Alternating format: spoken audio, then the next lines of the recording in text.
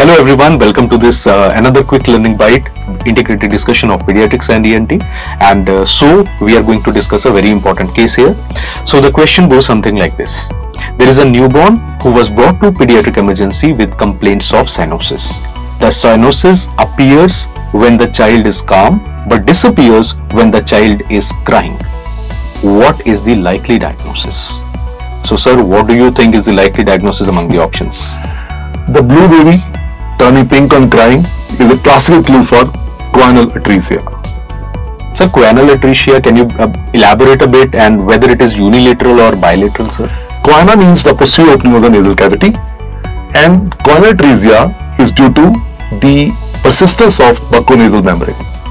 This is a case of bilateral complete choanal atresia because neonates are obligated nasal breathers. That's why this child is landing up with cyanosis after birth but magically when the child opens the mouth to cry, the child gets better.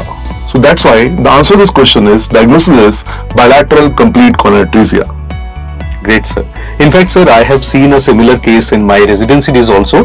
There was a newborn who was brought and uh, he was he had this cyclical cyanosis. It is also called a cyclical cyanosis. Cyanosis worsening when the child becomes calm, contrary to what we normally uh, anticipate.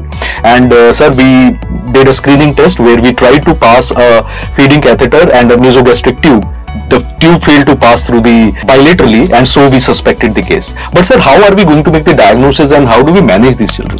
The management is the airway is the significant consideration over here.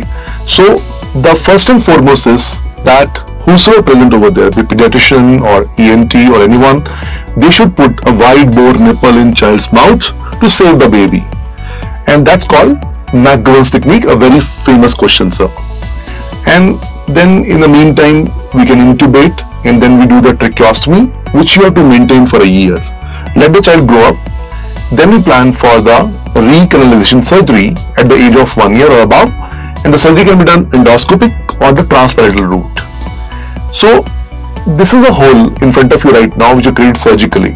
A very famous question again, which drug we apply topically on the margins of this hole we create surgically to keep it patent?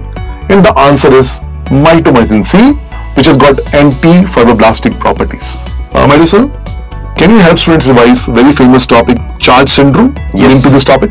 Definitely, sir. CHARGE syndrome is a very high yielding topic. It is a NEET PG and past INICET question, and many choanal atresia patients are a part of the CHARGE syndrome. So, what is CHARGE syndrome? C stands for coloboma of the eye, H stands for heart defects, A stands for atresia of the choanae, R stands for retardation of growth, G stands for genital abnormalities, some books write as genital urinary abnormalities, and E stands for ear defects. So, this is the CHARGE syndrome. Thank you very much, sir. Keep learning, and for more such content, please download our app and see such more interesting information in the form of videos over there.